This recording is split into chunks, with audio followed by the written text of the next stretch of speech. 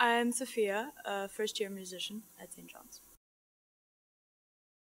I was living in France, but my dad, because he's British, he kind of knew about the whole Oxford thing, so it didn't seem as far fetched.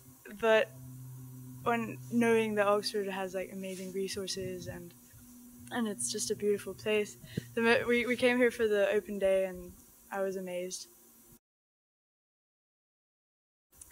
They're so varied. It really depends on lectures, but uh, it's usually just waking up, going straight to a lecture, then uh, having lunch at hall, and um, then having either tutorials or more lectures.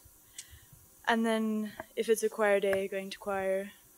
Um, if not going to like a concert or just hanging out with people. Obviously, like working and working and working, but that's the same everywhere. The tutorial system gives it a whole personal thing to it that you wouldn't get if you were in a classroom of 30, where you can't not do your work, first of all, and that's a big motivation to actually work for your, your degree. But um, also, your tutors get to know you better and they kind of figure out what you want and what you want to get out of your degree. So it's it's a lot better to like focus on what you really want to do.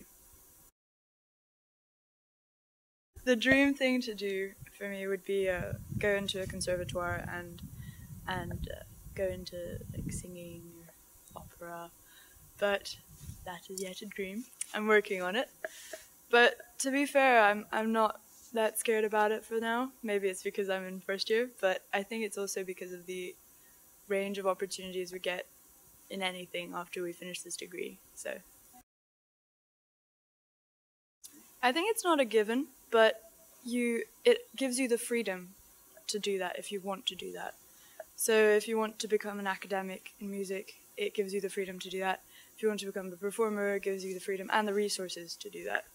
So yeah, I feel that.